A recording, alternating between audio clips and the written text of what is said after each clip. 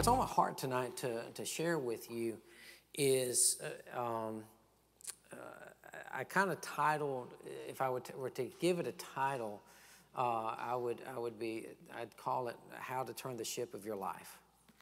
How to turn the ship of your life, um, and and I think that I think that this is uh, this is important. Turn with me um, over to Hebrews chapter six. Hebrews chapter six. Oh man, I told uh, Sophia I try to stay still. She's running camera tonight, so Good luck with that. Hebrews chapter 6, and, um,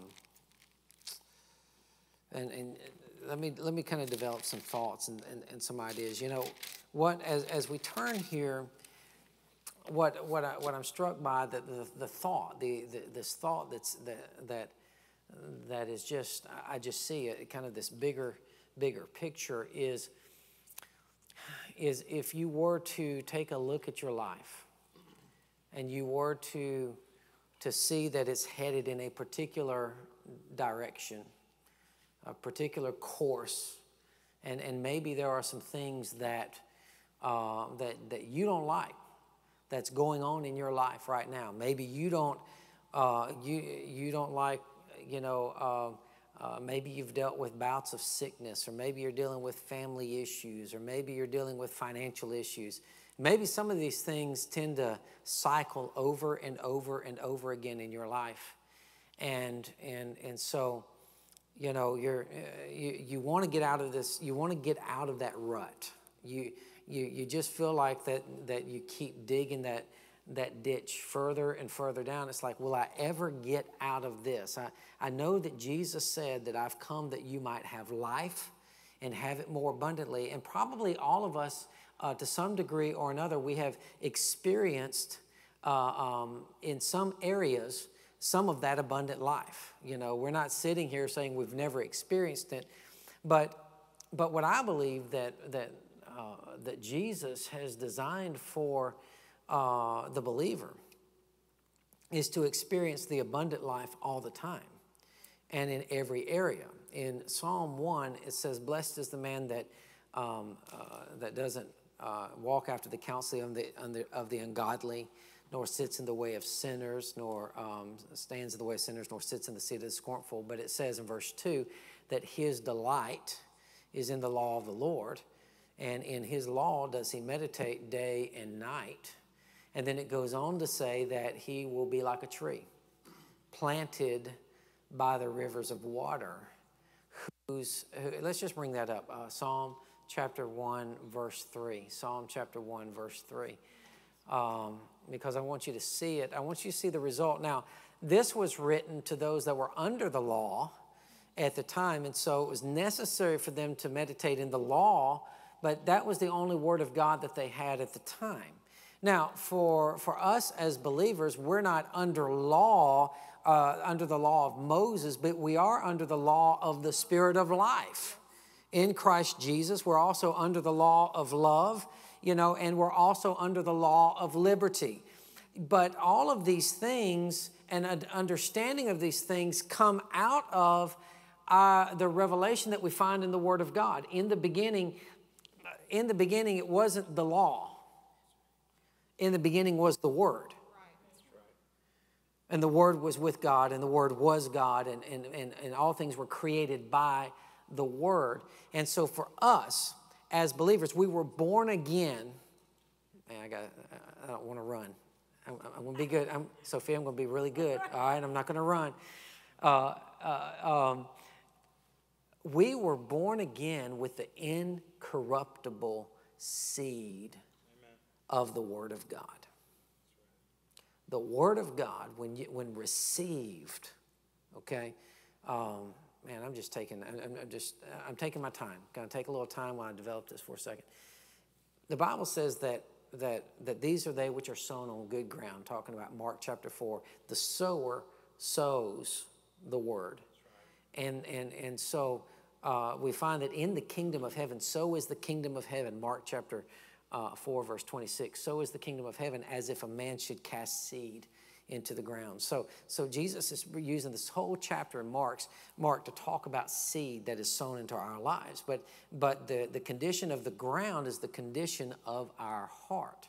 And he says that those that are, uh, that are sown on good ground are those that, that hear the word, they keep the word, they, they, they receive the word, in an honest and good heart. They understand it. Matthew, so if you were to put Matthew 13, Mark chapter 4, Luke chapter 8, the different the three different versions of the of the parable of the sower together, you see that really those, those that on good ground are those that hear the word. They, they, they make it a point to understand what's being taught so that they can receive it fully into their heart. And then it says that they keep the word, they do what they hear and, and as a result, they bear fruit. The Word of God bears fruit, some 30, some 60, some 100 fold. And so, we were born again with the incorruptible seed of the Word of God. What happened? You heard the Word of God that Jesus came to set you free, to deliver you, to cause you to live that abundant life. Whatever you heard, some of you heard that if you didn't get Jesus, you're going to hell. So some of you didn't exercise faith. You got saved out of fear. But either way, you, you, you made a decision, right? And, but, but honestly, when you heard it, you did exercise faith to, to at least receive Jesus into your life. And what happened when you heard that word and you received it into your heart? Because there's a lot of people that hear the word, but they don't receive the word. They hear it, but they don't allow it to, to penetrate their heart. They say, I don't want anything to do with, with that. Uh, uh, um, this word is, is, you know, is too difficult. I don't want to change my life here. They don't receive the word that is able to save. The, uh, uh James puts it this way the engrafted word receive with meekness the engrafted word that is able to save your soul. You can hold your finger here in Hebrews, but just since it's a few pages over, let's just look at James uh, chapter 1 for a moment and, and, and, let's, let's get this. Let's lay this foundation first before I kind of dig into to, to turning the ship of your life. Um, in verse 21, he says, Wherefore lay apart all filthiness and superfluity of naughtiness um, the Amplified puts it this way so get rid of all uncleanness. Uh, get rid of, don't allow those things to, to stay attached to your life. See, what you, what you hear, what you, what you surround yourself with, you're, you're, you're constantly having seed that is being sown into your life. All right? And so, he says, So get rid of all uncleanness and the rampant outgrowth of wickedness. Get rid of it. Don't let it be a part of your life. And he says this, and back to the King James, and receive with meekness the engrafted word. What does that mean? What, what is meekness? It means you don't know it all. You recognize, I don't know it all. I don't, I don't got it all. I'm, you know, God says, God says, children, honor your father and your mother. Honor your parents, that it may be well with you. Yeah, but I don't feel like it. Yeah, but they were mean to me. Yeah, but, you know, and even, even adults, honor your parents. Even if they disagree with you, even if you disagree with them, still show honor to them. Let me, let me help you with this for a moment. The Bible says, give honor to whom honor is due. It does not say give honor to whom honor is earned. And a lot of times we, we feel like they haven't earned the right for us to honor them. And, and, and so I'll give them honor when they start acting right. No, there's only one way to determine who to give honor to, and God's that determining factor. He has said in His Word to honor the King. He has said in His Word to honor those leaders. He has said in His Word to honor, we honor the Lord. We honor we honor each other. We, we honor those that, uh, that God has put in the rule over us. We honor our parents. And we do that because God said to do it, and He didn't say do it based on their lifestyle. See? So, so there'll be so we have an opportunity here to take this word and say, yeah, but you don't know what my parents did to me. So are you going to receive with meekness? Meekness would say, I don't want to do it, but I'm going to humble myself under the mighty hand of God. And humility says, I'm going to go God's way and I'm going to receive the, with meekness the engrafted word. See, that word, when it gets in your heart, it just, man, it, it, it grabs onto your heart and it begins to grow in your heart. You were born again with the incorruptible seed of the Word of God. What did it do? It produced a change in your life. The Word of God will produce a change in your life if you make a decision to receive the Word of God into your heart regarding every area of your life. Now, back to um, uh, Psalm 1 3 for a moment, because uh, I asked them to pull that up. Psalm 1 3. And so when he says, so we meditate in the Word day and night, why? What we're doing is, is we're allowing the seed of the Word of God to penetrate our heart so that it can produce change in our lives. It's a discovery process. I'm not, I, I'm not doing something to get God to do something. All I'm doing is, is I'm, my spirit man has already been changed. I'm perfect, I'm whole, I'm righteous uh, because Jesus is there and I'm sealed by the Holy Ghost. Amen. All right? But, what, my, but, but my heart isn't my spirit. My heart is maybe a combination of my spirit and my soul. I am getting, I've got two sources of information that is working in my life okay? I've, I've got my environment, I've got my past, I've got what my teachers have told me, I've got my education, I've got what my parents have told me, and, uh, and I've got what the world is constantly talking to me about. And so that information allows me to now say, make a decision. But at the same time that I've got this external information that comes through the five senses in, I've also got a knowing on the inside of me. The Bible says that I have an unction from the Holy Ghost that I know all things.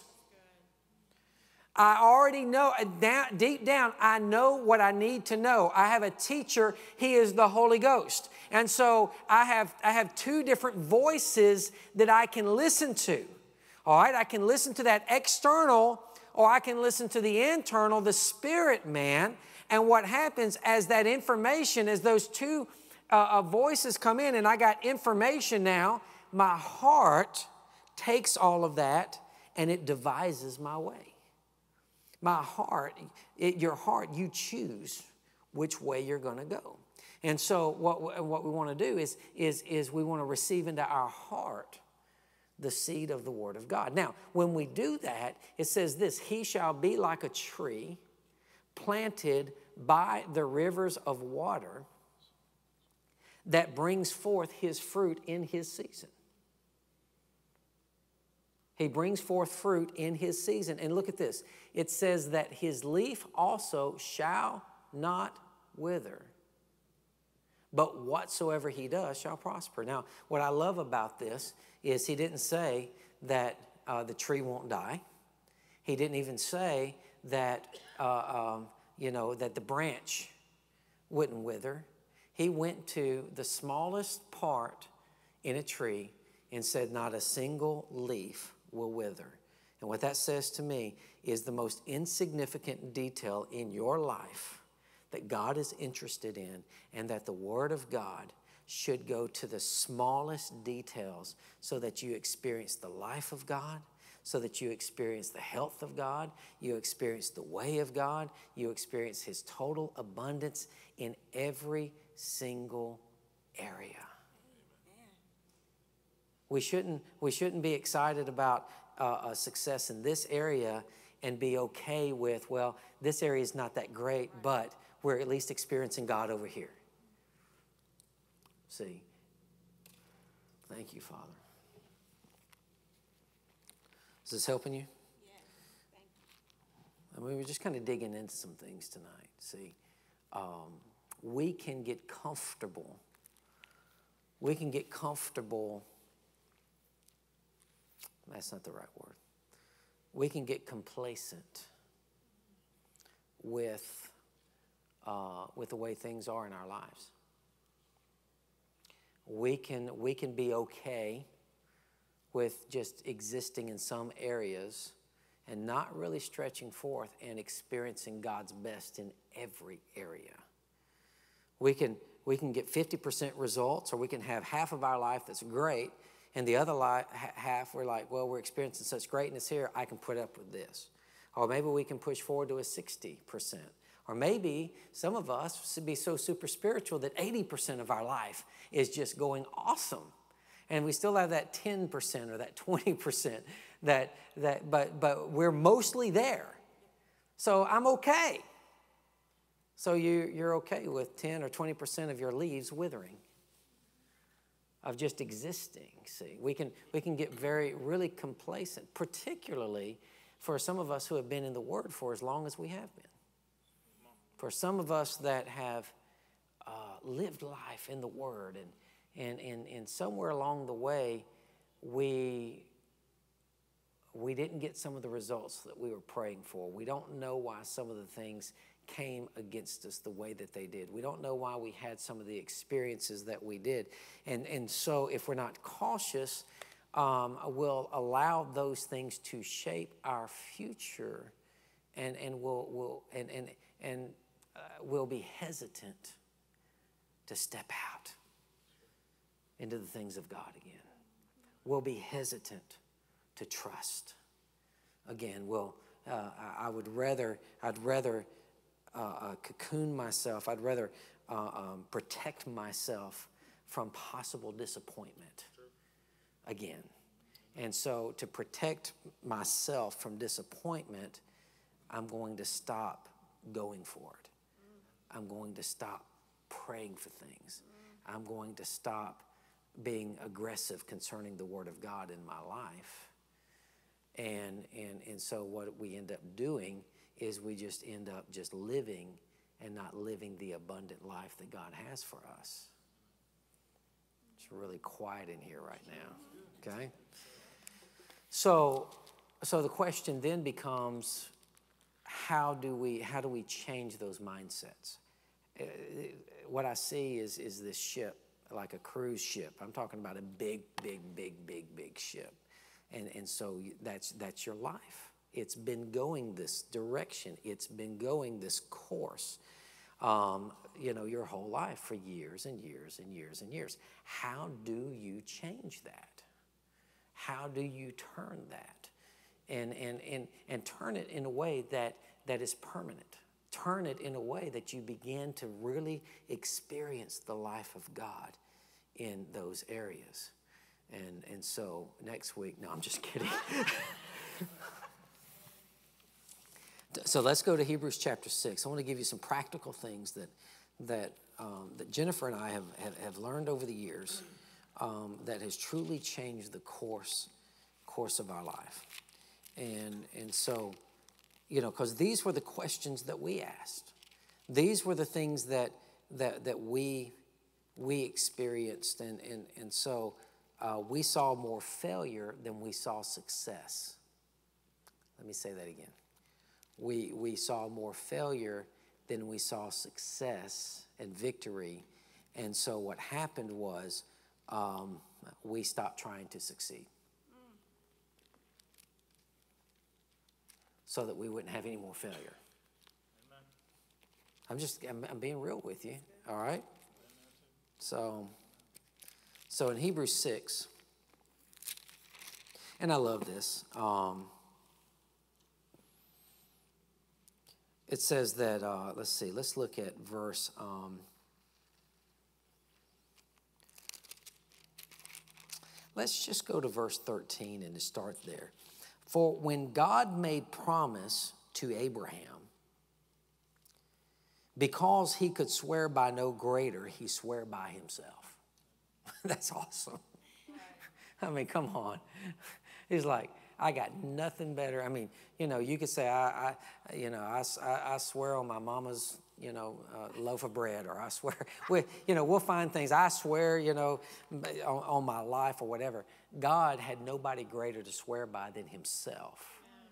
And so he said, he said, uh, he said, I'm putting my name, I'm putting everything that I am to this Abraham, saying, Surely, blessing, I will bless you, and multiplying, I will multiply you. And then verse 15 says, So after he had patiently endured, he obtained the promise. After Abraham had patiently endured, he obtained the promise. Now, let's, let's get into the mind of Abraham for just a moment. God comes to him, says, I want you to go out into a land that I will show you. It says in Genesis chapter 12, and I'm going to bless you. I will multiply you. I'll bless him that blesses you. I'll curse him that curses you. And so the Bible says Abraham obeyed. Abraham went out. Hebrews 11 says that Abraham went out uh, not knowing where he was going, but looking for a city whose, whose, whose builder was God. And then it says this that if those that had gone out had been mindful of where they had come, they would have had an opportunity to return. Can, can we look at that for a moment? Man, I just, I, I just feel like taking my time and, and, and digging into some of this. Is this, is this okay? Um, in Hebrews 11, and, and so he had talked about um, these things, but it says in verse 15, it says, And truly, if they had been mindful of that country from where they came out, they would have had opportunity to have returned. Now, what this means is that Abraham made a, a decision, made a commitment that I'm going with God. I'm leaving everything behind that I have known. I'm living, I'm leaving my way of life behind. I'm leaving my family behind. I am going with God. What God says is most important in my life. Do you remember when, when Jesus was there talking to the crowd, surrounding by the crowd, and his mother and his brothers were trying to get in to see him? And so finally they got word to his disciples, and the disciples came to him and says, Your mother and your brothers, they're looking for you. You know, they, they need to talk to you. And, and Jesus said, Who are, who is my mother and my brothers? And he looked around to the crowd and he said, But they that keep the word of God. You know, why? He was on a mission. He was doing what his father said. His, his family didn't keep him from obeying what the father, even at age 12, didn't you know I would be about my father's business? And so Abraham had made this same decision I'm going after God. And we find out that immediately when he left, there was a famine in the land. Immediately. You look it up in Genesis chapter 12. I think I talked about this a few weeks ago. Immediately when he left, it says there was a famine in the land. Now he could have he could have been like some of us, you know, he could have been like, well, well, oh man, if God's calling me to this kind of life, I'm going back to where my daddy, where my daddy stuff is. I, I got I got I got opportunities back home. The devil is fighting me as I'm going there. All right now, Jennifer, we you, you don't want me to take that rabbit trail. Jennifer said this, or he could have said, Man, oh, this is. Uh, would you look at your toes? Are you okay? Are your toes healed today? Brother, your, your shoes are off. I don't know if you're ready for this one. I'm just Or, or, man, as soon as I go after the things of God, the devil attacks me. You know, sometimes uh, we, we hear it over and over and over again that, that because I'm, uh, I'm going after the things of God, that, that you know, if you're not being attacked, then you're not doing the will of God. People, people have more faith in the devil to attack them than in God to keep them. And, and so, you know, the fact of the matter is, is Jesus destroyed him. Uh, he, he, we are blood bought. There is a bloodline that Satan can't get through. I'm, I'm behind, yeah, it's the kingdom of God, but I'm behind the, it's the border of the kingdom that Satan has no access. He can't just, he can't just pop in and say, I'm attacking you, and then pop back out. He doesn't have that. But because, but because we've developed this theology in, in, in, in our Christian circles that the devil's always attacking, attacking, attacking. Now, is the devil, is, is, does he exist today? Yes. Does he, does he try to, does he try to uh, attack Christian? Yes. But how? Why did you start this? Why did you start this? But, but, but how? But how does he do it? You listen. I, am I'm, I'm going to I'm, I'm going to mess with your thinking for a moment. If you look at the Bible, and if you let's just take the life of Paul, and Paul talked about get, having a thorn in the flesh, and he said, "For the abundance of revelations." that I had that, that has been given to me, lest I be exalted above measure, there was there was given to me a thorn in the flesh, the messenger of Satan to buffet me. Now, what did that demonic spirit that, that Satan assigned to Paul's life, what did he do? Everywhere Paul went, he stirred up the crowds against him. He caused persecution and affliction to happen through other people. So Satan still has access to other people to try to affect your life. He talks about the God of this world that blinded the minds of people. All right?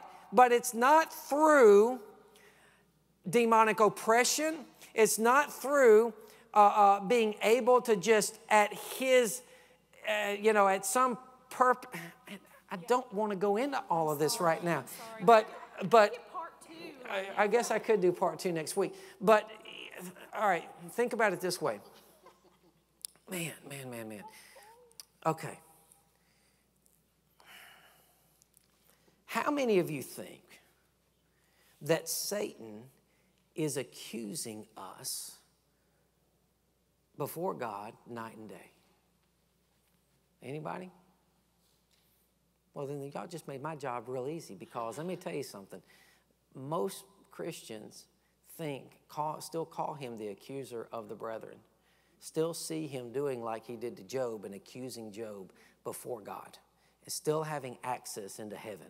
You know, and, and so the fact of the matter is because of what Jesus did in Revelations, it says that the accuser of the brethren has been cast out of heaven and he was cast onto the earth. And, it's, and the reason that that happened, and we know it happened, it says, now has come the salvation of our God. And, and he's talking about what happened at the cross. And what happened at the cross is that heaven was shut up to, to, to Satan forevermore. He does, he can't, Jesus took all of our accusation. Yes, Jesus took all of our judgment. Yes, Period. So, you know, uh, um, we've, we've allowed this picture to be painted that, um, uh, um, that, that, that, that Jesus is there, that Satan comes into the courtroom of God, and Jesus is our lawyer. And so, what he does is he argues on our behalf. And that's not the way it is. Jesus took it all, he defeated the devil forever. And so now we are in him.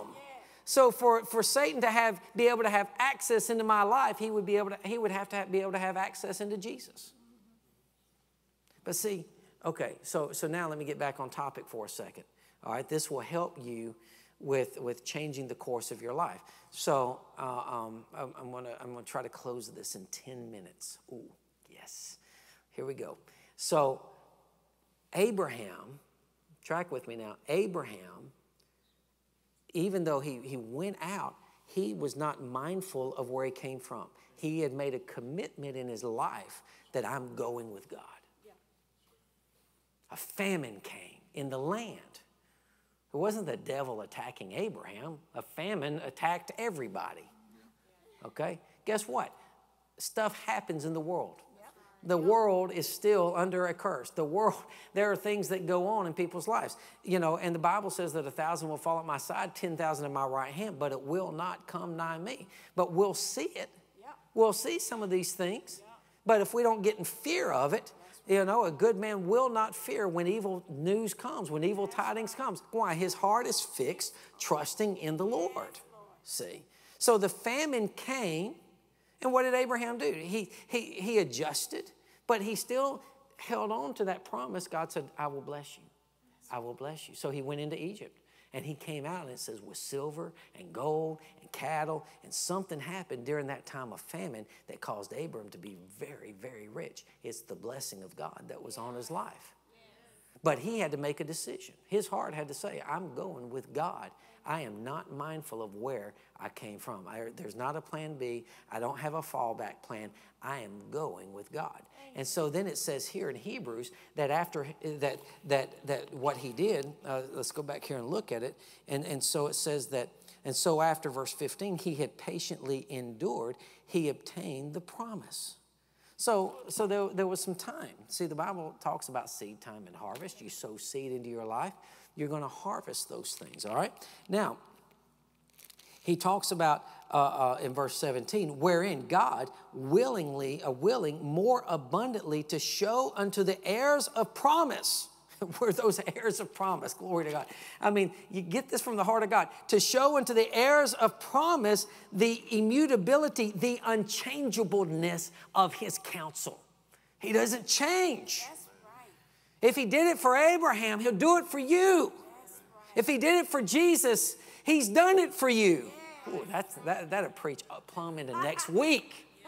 It's the finished work of Jesus Christ. He confirmed it by an oath that by two immutable or unchangeable things in which it was impossible for God to lie. He wanted you to see so much how this is on his heart. He said, Then we have this strong consolation who's fled for refuge to lay hold upon this hope that is set before us, which hope we have as an anchor of our soul. That's, that's our heart, that's our emotions, that's our mind, this hope of, of the unchangeable nature of God and what He has promised. And He says it's both sure and steadfast, and it enters into that within the veil.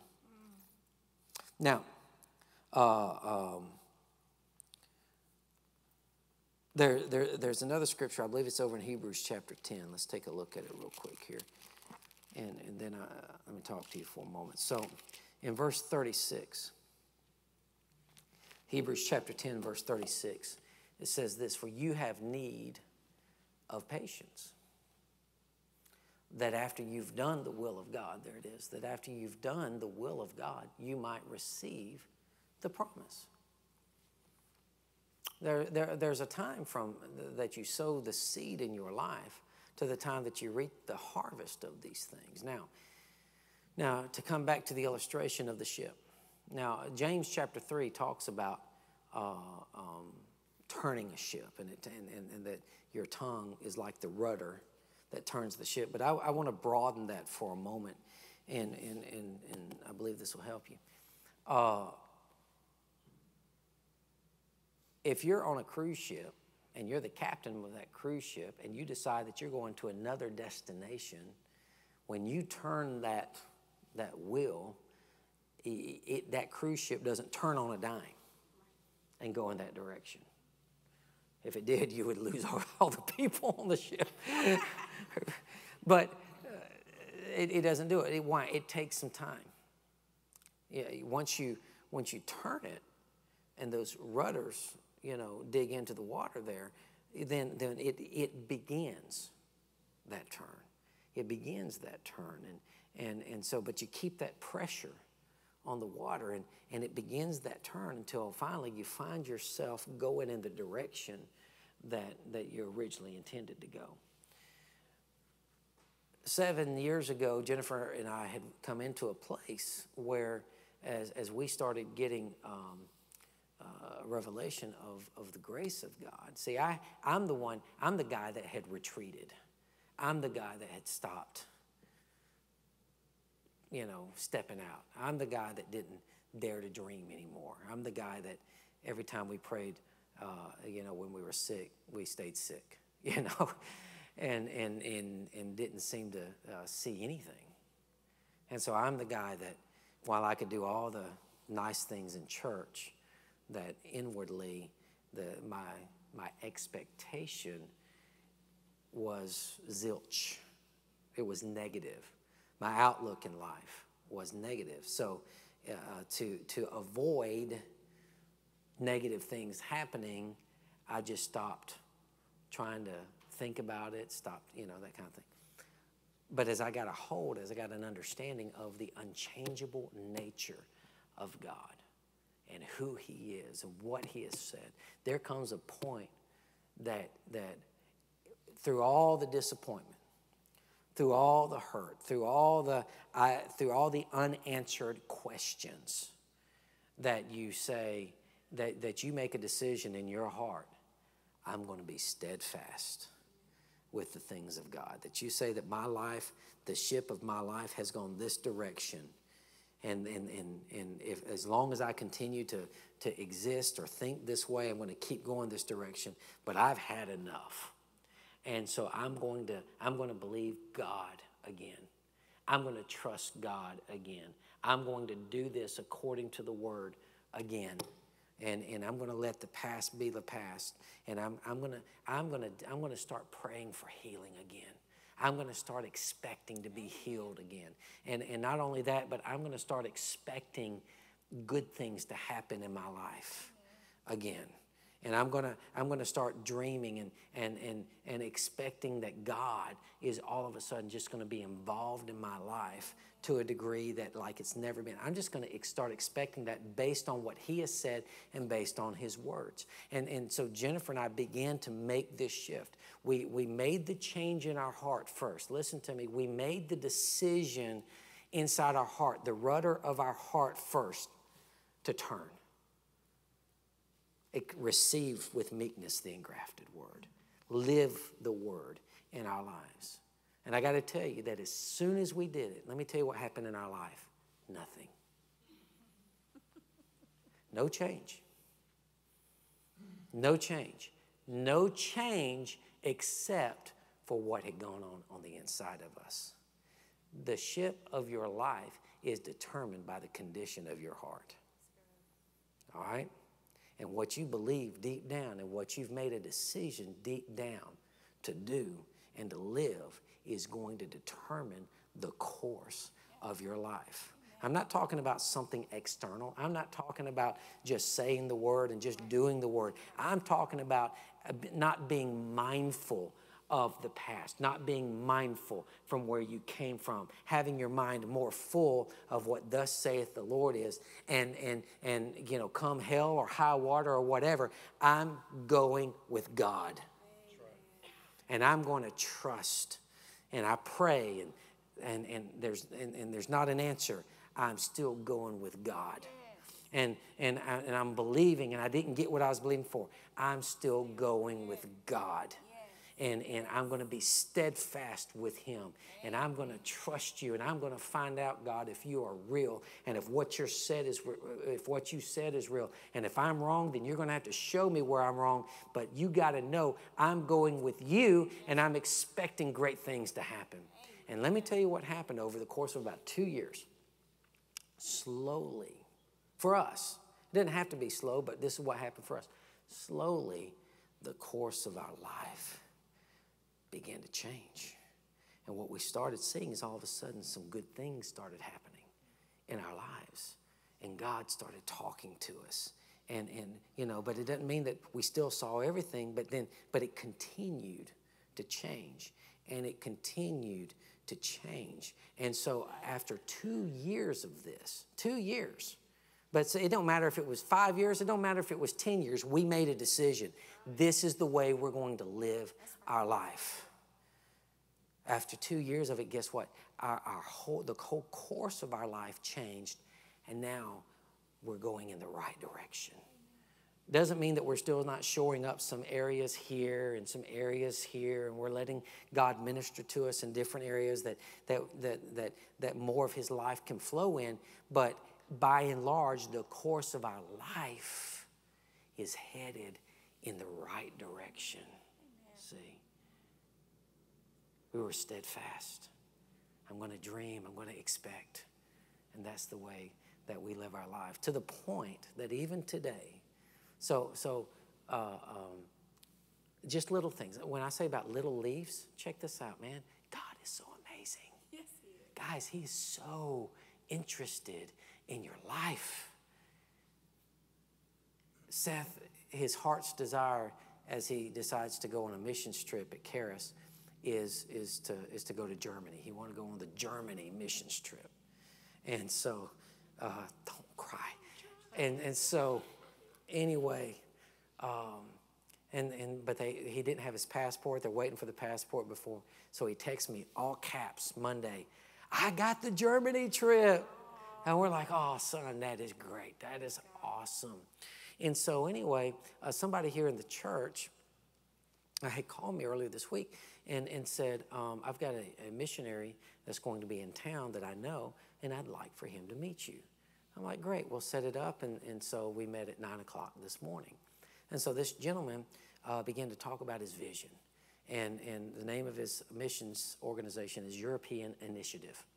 And, and so, and, and going through his story and how God put this on his heart. Just an amazing story. And, and, and started talking about being connected with Karis. And, and they're based out of Germany.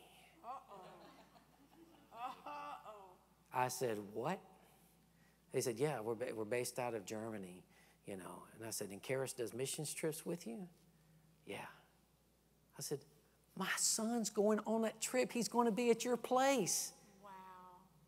And, and I talked to Seth, Yeah, that's who he's going with. Oh, wow. And so here, here, the Lord, I mean, this guy is not even from Birmingham. Wow. Happened to be here. And so I got the opportunity to connect with the ministry that, that, that God is, is, that Seth's going to be going with. And the ministry is amazing. And we're going to begin to partner with them at Life of Faith Church with European Initiative and have other opportunities. You know, I, I didn't ask for that. I didn't need to have that. But God says, I'm going to do something. Let me let you know that your son's taken care of when he goes on this missions trip. Ah, just amazing at the goodness of God.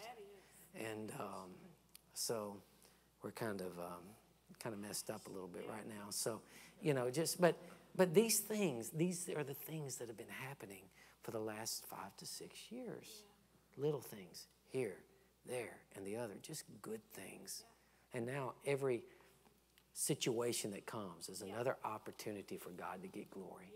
For God to, you know, do, do, do we have all the answers? No. You know, but you know what?